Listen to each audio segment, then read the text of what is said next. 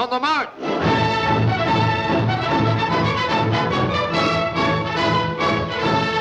Hiya, hiya, kids.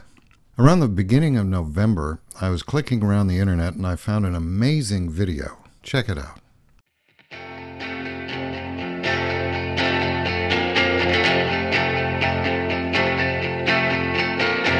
I've heard a lot of funny stories and opinions Now to get the whole thing straight You can't keep a bunch of hypocrites and liars All from showing their face. But the damage has been done.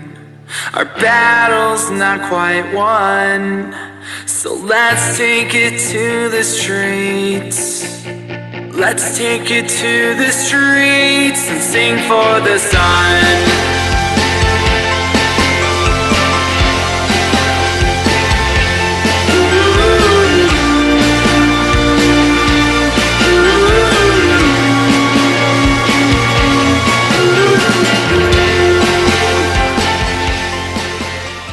What I tell you? Finally, someone was putting together a documentary about electronic cigarettes and vaping that would show the non vaping public exactly what was going on. When I read the quote from the International Journal of Drug Policy in the video, it has the potential to lead to one of the greatest public health breakthroughs in human history by fundamentally changing the forecast of a billion cigarette caused deaths this century. I was very impressed that a paper published in the International Journal of Drug Policy was taking such a strong, positive position on electronic cigarettes. I periodically write for a radio program, and this was going to be my next subject, and I wanted to get it on the air as soon as possible. But before I could write one word, I needed to read the entire paper for the quote's context. So back to the internet, Google, and the website. A quick search of the site brought up the paper Tobacco Harm Reduction How Rational Public Policy Could Transform a Pandemic, authored by David Sweanor, Philip Alcabes, and Ernest Drucker. But nowhere in the paper is there any mention of electronic cigarettes or vaping. The quote from the video was taken from the conclusion of the paper. We can reduce tobacco related death and disease far more rapidly than we can reasonably expect to reduce nicotine use by focusing on the fact that people smoke for the nicotine but die from the smoke. Applying harm reduction principles to public health policies on tobacco nicotine is more than simply a rational and humane policy. It is more than a pragmatic response to a market that is, anyway, already in the process of undergoing significant changes. It has the potential to lead to one of the greatest public health breakthroughs in human history by fundamentally changing the forecast of a billion cigarette caused deaths this century. The it in it has the potential to lead to one of the greatest public health breakthroughs in human history is not referring to electronic cigarettes like the video would have you think. The it in the paper refers to applying harm reduction principles to public health policies on tobacco nicotine. Well, that's different. That's not just stretching the truth, that's lying. In fact, the paper lists examples of smoke free alternatives to cigarettes the nicotine patch, gum, inhaler, nasal sprays, lozenges, Swedish snus, uh, hard tobacco, moist snuff, spit free tobacco pouches, and chewing tobacco. Why weren't electronic cigarettes listed? Because the paper was published in March 2007. What type of e cigs could we buy eight years ago? The kind that didn't work very well. I got this from the Ashtray blog. 2007 Slow progress. E cigarettes continued to wallow in obscurity. Some indications show that the FDA became aware of the electronic cigarette around this time, but did not take any action against the devices. E cigs weren't really on anyone's radar, including the authors of the paper. It's not like there's a lack of positive quotes about e cigs from reliable sources. Years ago, I talked to Dr. Vapor, as he's known on YouTube. He uses e cigs and has prescribed them for his patients. According to the studies he's researched, using e cigarettes for 40 years is less harmful to the body than smoking for 30 days. Or Professor Carl Phillips of the University of Alberta School of Public Health, where much of his research focuses on tobacco harm reduction. He said in an interview, the health benefits of switching from tobacco cigarettes are almost exactly the same as the health benefits of quitting, and this applies to electronic cigarettes, smokeless tobacco, and pharmaceutical nicotine. If a smoker can manage to switch from smoking to one of those other products, the benefits are approximately the same as quitting.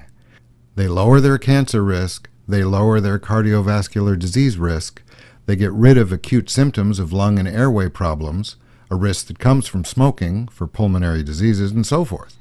Switching is so close as good as quitting that from a health point of view, there is no point in worrying about the difference. And Dr. Joel Nitzkin, the chair of the Tobacco Control Task Force of the American Association of Public Health, on April 2, 2010, wrote AAPHP favors a permissive approach to e cigarettes because the possibility exists to save the lives of 4 million of the 8 million current adult American smokers who will otherwise die of a tobacco related illness over the next 20 years.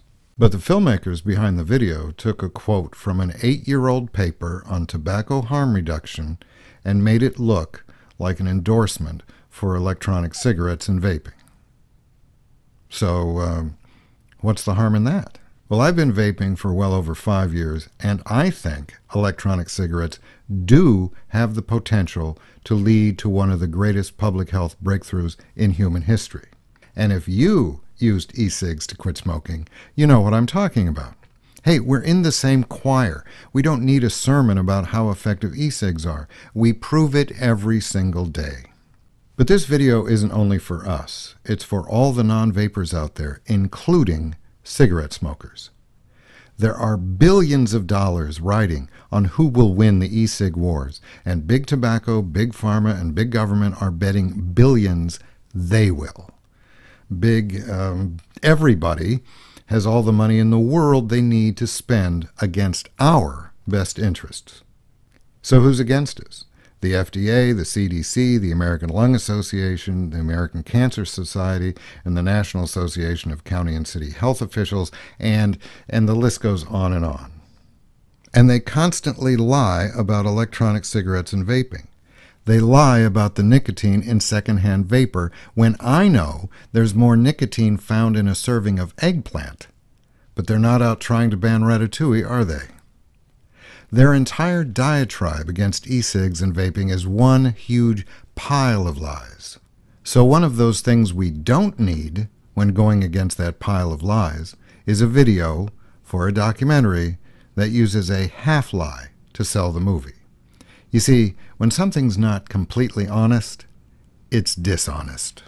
And using that as leverage, big tobacco, big pharma, and big uh, fill in the blank can stomp the film out of existence by telling everybody, you know, the prospective audience, that the movie is based on a lie. And they have enough money to say that over and over and over again across all media for the next century. And vapers would always be on the defensive, always, not exactly a position of strength. All the true things said in the documentary would be diminished by that half lie. That's the way it works. That's how cheesy politicians do it. They find something and harp on it over and over and over again until your ears bleed. They do that because it works. The filmmakers need to make a film as airtight as a legal case, with no openings for the opposition to fault them. This video about the upcoming documentary fails. I hope that when the documentary comes out next year, every single fact and quote used in the film will be rock solid. Because otherwise, the anti ESIG forces, with deep pockets, rip you to pieces. And the non vaping public will continue to be not on our side. And worst of all, smokers will be steered away from vaping. We sing